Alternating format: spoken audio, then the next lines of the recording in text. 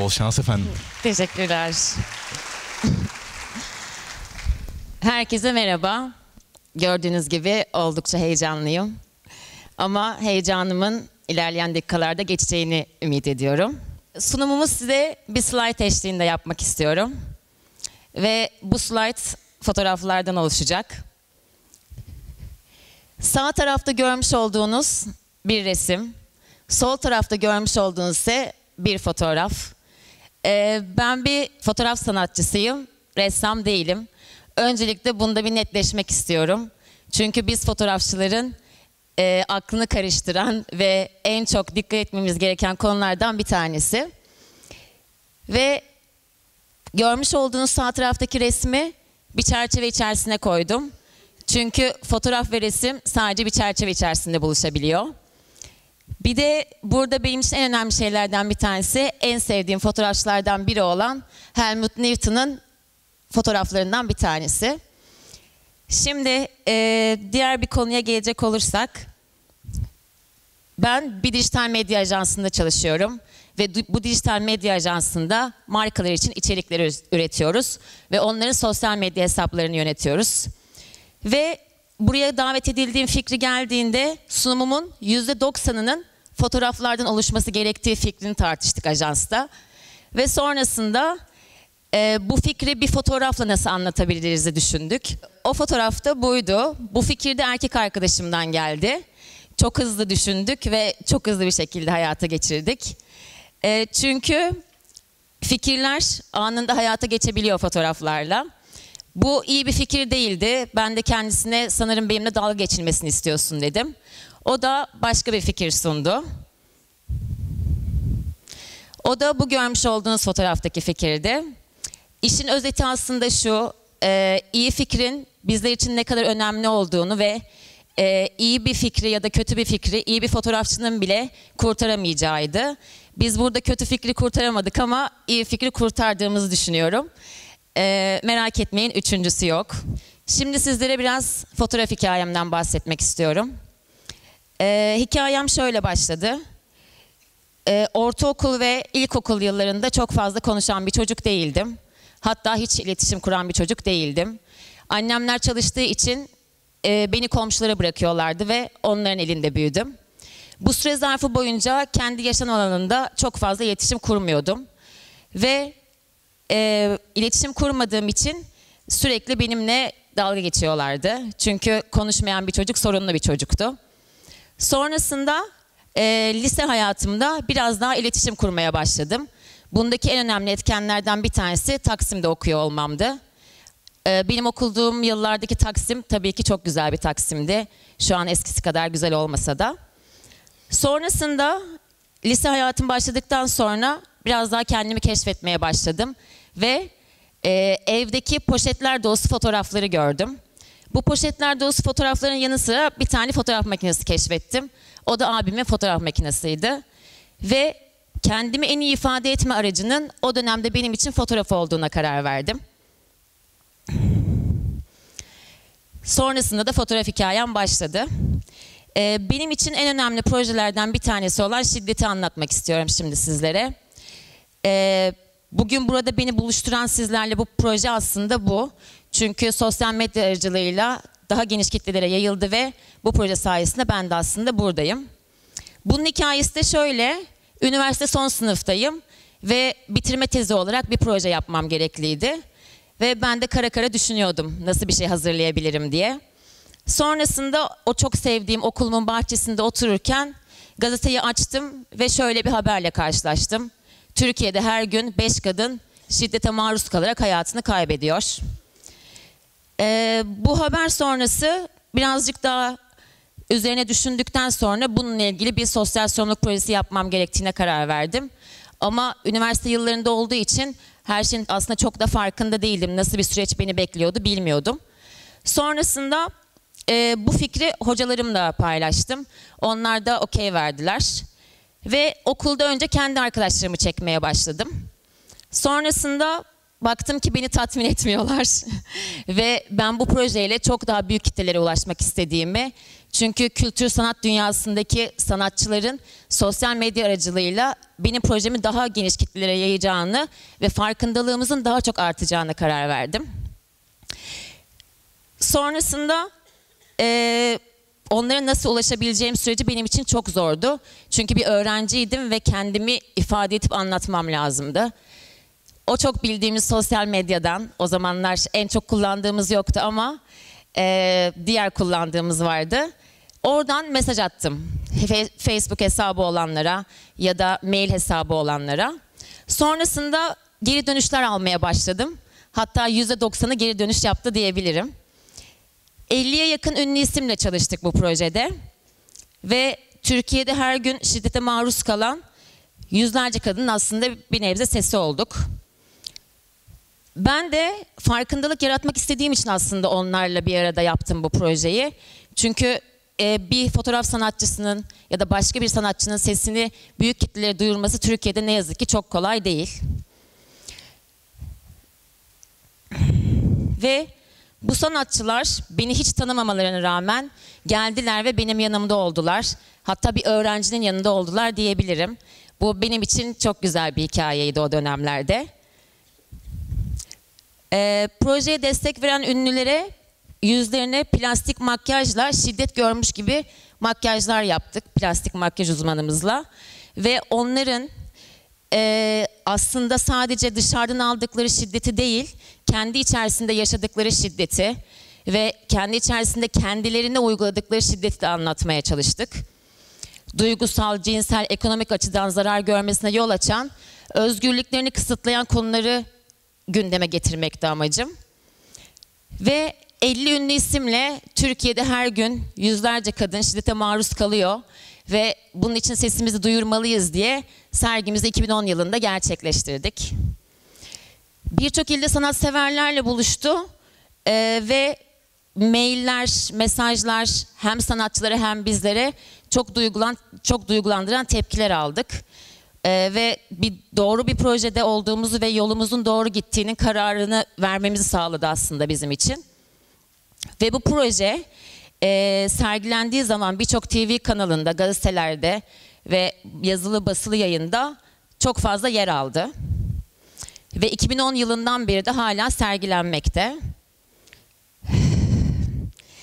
E, ve en önemli konulardan bir tanesi de bir fotoğrafçı için şuydu. Ben bu projeyi yaparken dediğim gibi nasıl tepkiler alacağını bilmiyordum ve ne kadar geniş kitlelere ulaşacağını bilmiyordum. Ama şöyle oldu. Gazetede gördüğünüz birçok haberde, televizyonda gördüğünüz birçok haberde ya da sosyal medyada şiddetle ilgili ne gibi bir görsel ya da konu olursa olsun benim fotoğraflarımı kullandılar. Ee, bir süre sonra artık iş çığırından çıktı. Çünkü herkes bana Ümit senin fotoğrafını kullanmışlar haberin var mı, iznin var mı vesaire gibi noktalar uğraştı. Ama aslında buradaki amaç şeydi, gerçekten kullanılsın. Çünkü ben bu projeyi farkındalık yaratmak için yapmıştım. Ve sonrasında diğer projeler gelmeye başladı. Benim için en önemli projelerden bir tanesi olan Kürkünü Çıkar Vicdanını Giy.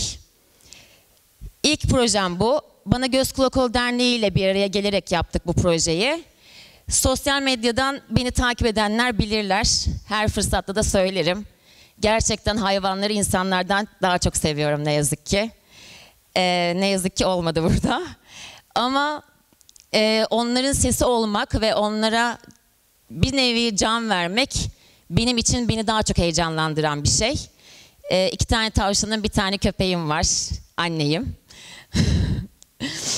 e, hayvanlarla ilgili projeyi gerçekleştirmek zaten aklımdaydı. Fakat hani bir dernekle yapmak çok daha keyifliydi benim için. Kürk hayvanları ile ilgili insanları vicdana davet ettik. E, onların sesi olduk. Çünkü gerçekten e, kıyafet olmadıklarını ve bir denek olmadıklarını insanlara anlatmamız lazımdı artık. Ve biz bu projeyle e, 28 sanatçıyla beraber hayvanların gerçekten denek olarak kullanılmaması gerektiğini büyük kitlelere duyurduk. Ee, Birçok insan hala kürk için bu hayvanların öldürüldüğünü bilmiyordu. Bu ne yazık ki çok acı bir gerçek. Hatta detaylarını kimse bilmiyordu. Bunu da hatta bir sergimiz esnasında videolarla anlattık ve böyle insanlar korkunç dakikalar yaşadılar orada. Ama onlar için iyi bir deneyimdi bu. Ee, en yakınınızdaki insanın bile fikrini değiştirmek çok zordur. Bunu hepimiz çok iyi biliyoruz. Biz yüzlerce, binlerce, umarım milyonlarca insanın fikrini değiştirmişizdir. Ee, bir haberden bahsedeceğim size. Dün yayınlandı.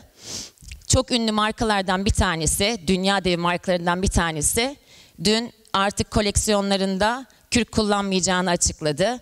Bu bizler için çok güzel bir haber.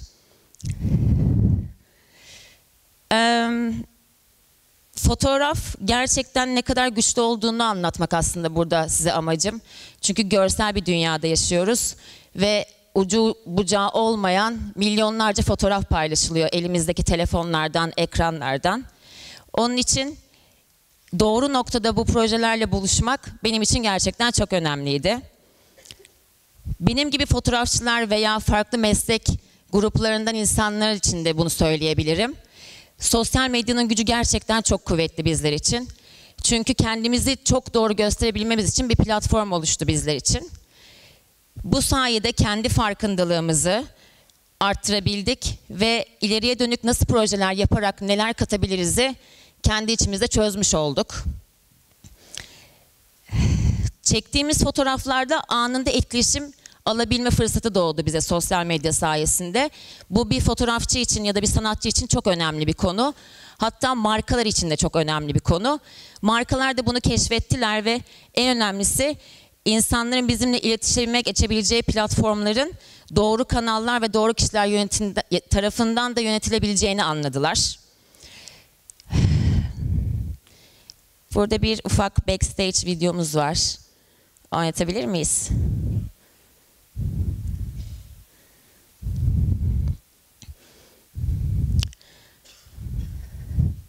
Aslında sosyal medya daha söyleyemediğim ve anlatamadığım birçok şey kattı.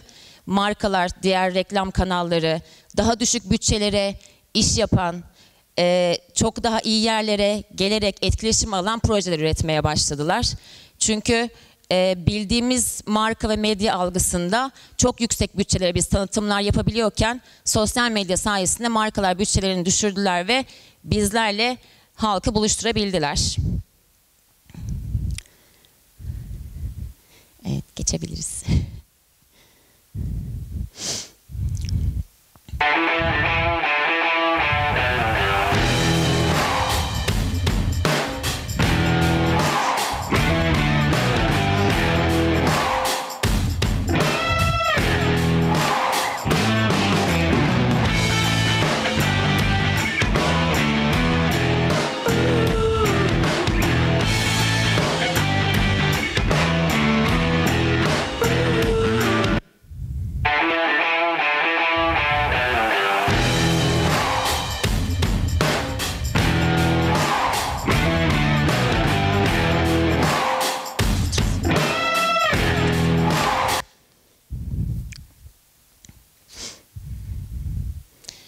Diğer meslektaşlarımdan beni farklı kılan taraf ise sosyal medyayı iyi kullanmamdı ve e, beni kameranın arkasında istedikleri kadar kameranın önünde de istemeleri oldu.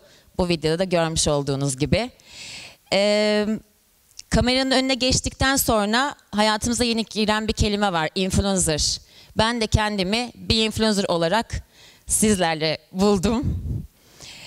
Peki kamera önünde neler yapıyorum? Markalarla işbirlikleri, sosyal medyada tanıtımlar, eventler, hostingler gibi e, gene sosyal medyadan takip edeceğiniz tanıtımlar yapıyorum. yapıyorum. Ve burada benim için en önemli olan şeyi söylemek istiyorum. Biraz önce anlattığım gibi o kendi evinde sessiz sakin, hiç konuşmayan kız, e, çok uzun süreler boyunca o hayatı yaşayan kız şimdi belki yüzlerce, binlerce kişiyle iletişim halinde. Bu da benim aslında kendi değişimim.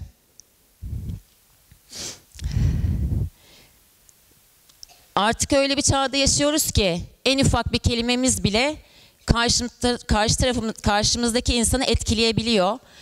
Ee, o da şöyle oluyor. Yorumları okuyoruz, mesajları okuyoruz. Bazen hiç tanımadığımız bir insandan bir yorum bizim sağlıkla ilgili bile olabiliyor bu. Kararlarımızı değiştirmede çok büyük bir etken oluyor.